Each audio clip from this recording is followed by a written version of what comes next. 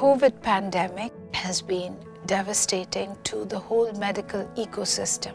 On one hand, people are sheltering in place and isolating and trying very hard not to spread or catch an infection.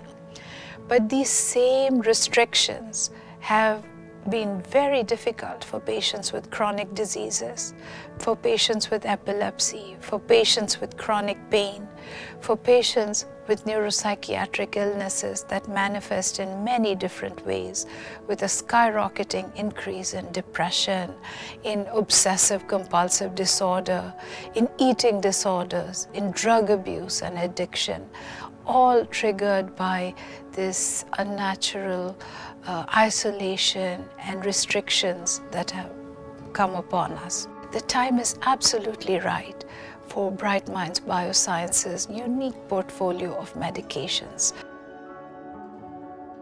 I'm a physician with specialties in pulmonary disease and critical care medicine.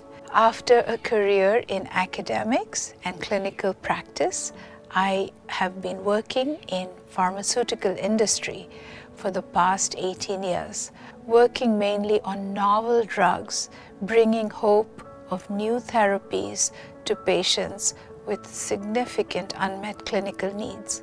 My journey through the last couple of decades has brought me to Bright Minds Biosciences, where we stand on the cusp of an exciting new revolution in the management of neurologic disease, in pain, and in neuropsychiatric illnesses.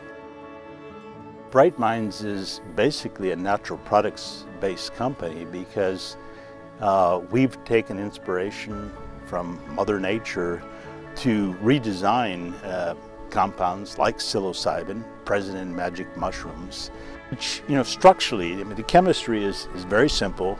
It's a simple molecule, but what it looks like is it looks like serotonin, which is one of the most abundant of the neurotransmitters present in the human brain. It was used to treat a variety of maladies, including depression. Uh, but unfortunately, during the, the, battle against drugs and all of the, the stuff that was going on with drug wars and you know, insidious, very insidious drugs like cocaine, psilocybin became stigmatized. And maybe it shouldn't have because it actually is a very useful medicine.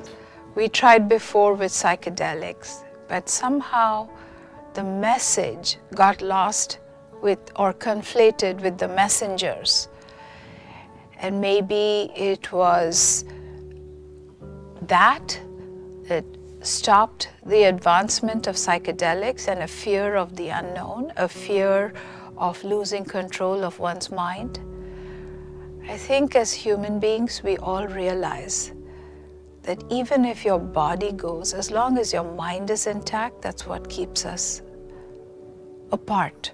That's what makes us special as a species. Psilocybin is a great compound. It's the first generation of its class. It has uh, shown us the way, shown us a glimpse of the path we have to go forward to develop actual drugs to treat patients. These compounds that come from nature, while potent, are unrefined. They uh, attack a disease. Uh, it's like hammering in a nail with a sledgehammer when what you need is very precision tools. What Bright Minds has is leveraging on that experience and bringing it forward to very focused, targeted therapies that are useful in disease.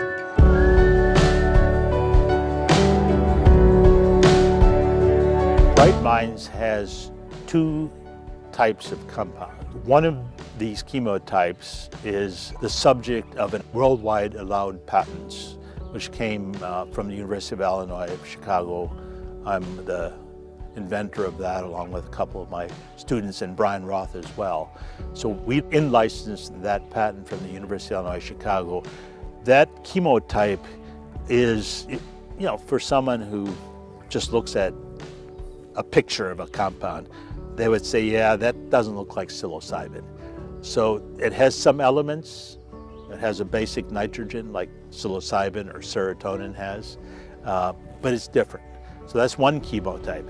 But then we came up with some psilocybin analogs that are actually based on the structure of psilocybin itself. And there we filed uh, two provisional patents. Um, and those compounds are being built now. And they're being studied now, assays, by John McCorvy uh, at the Wisconsin College of Medicine uh, in Milwaukee. So these compounds, which have the psilocybin structure, just have a, another piece of decoration on them, okay, which factors out this 5-HT2B activity so that it do not have 2B activity, they don't have the heart valve disease problem. But they retain the 2A and the 2C activity, which is important for antidepressant effects, for example, or the psychedelic experience. And there are ways we can further manipulate that structure to change the trip time that such compounds will have because we can build in again through the right decorations a way that these compounds get metabolized more quickly by the body so they're not going to be around as long.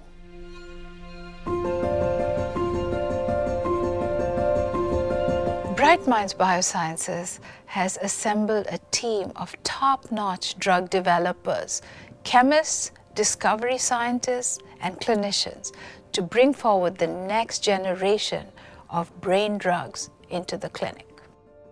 I got a BS uh, in chemistry from the University of Michigan in Ann Arbor. Went on, uh, because I got tired of the cold weather in the Midwest, decided I wanted to go to California for my PhD work. So uh, chose to go to Berkeley, University of California, Berkeley, and I did my PhD work there with uh, a very famous professor, uh, Bill Dauben. And um, after finishing uh, my PhD work uh, in organic chemistry at Berkeley, I went on uh, to do postdoctoral studies with Professor E.J. Corey at Harvard University.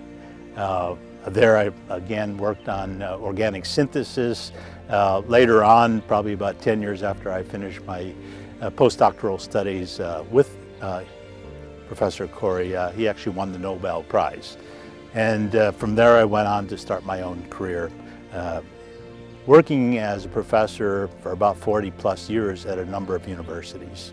Gideon Shapiro and I are the key medicinal chemists for the Bright Minds Company, and we've, you know, have decades of experience in designing drugs, true uh, FDA uh, approved type drugs that can be taken through the drug discovery process and into the clinic, into uh, man after proving that these compounds are safe and efficacious. We recruited John McCorvy, who is a brilliant pharmacologist. He's at the Wisconsin College of Medicine in Milwaukee. So I would say that uh, John is an upcoming young star in the psychedelic, uh, serotonergic uh, uh field of, of uh, pharmacology and, and biology. Uh, so John is nearby. He's actually running all of our assays on new chemical entities that we produce. At the University of Milan, we have Giulio Vistoli, who's a molecular modeling expert. So he actually can, using you know, fancy computers, he can dock the small molecules that we create in our brains or on paper, uh, so we can see how these molecules fit to the receptor. And this gives us then, by looking at that image, we get nice ideas about, oh, if I add this group here or this atom here, I can improve the binding affinity or selectivity. So he's also a key member of, of the Bright Minds team. And then, of course, we have a chief medical officer, uh, Revati. Uh, she's based out of uh, San Francisco area, Palo Alto. Uh, so she is uh, a key person in terms of the clinical design of you know, how we're going to treat patients with, with these drugs. We plan to develop one of our compounds to treat cluster headaches and to prevent episodic cluster headaches. In fact, our mechanism of action of blocking the serotoninergic response to pain and using the serotonin system to modify our response to pain is really important. The NIH has selected Bright Minds as one of the partner companies for the very innovative uh, new pain drugs program, and they are going to be evaluating our drug in all these models. What Bright Minds has done with its unique and exciting chemistry is to develop this novel portfolio of compounds that with very great precision can target certain abnormalities in neurocircuitry that lead to abnormal behaviors, that lead to, say, worsening of depression, worsening of binge eating, worsening of obsessive compulsive disorder, worsen the sense of uh, post traumatic stress. So each of these treatments can be targeted with one of Bright Minds Biosciences compounds. And I'm so excited to bring my depth of experience working on a diverse range of therapeutic areas to this company to make sure that these drugs are developed and see the light of day and bring their utility to patients. However, Big Pharma has not really capitalized on this.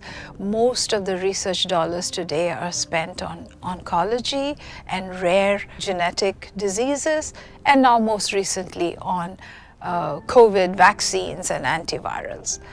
But we cannot wait for another crisis to start spending uh, research dollars on neuropsychiatry.